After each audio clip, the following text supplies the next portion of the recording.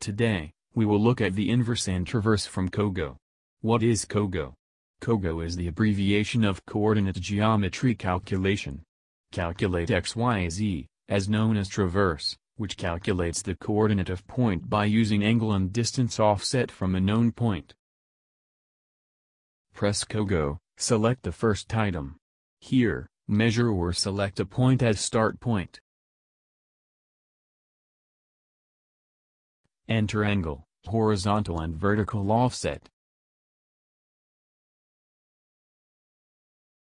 Press F4 to calculate the coordinate of point.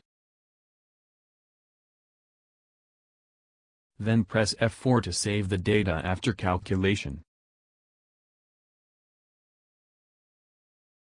The other program is inverse, which calculate the angle and distance between two known points. Measure, select or enter two points as start point and end point.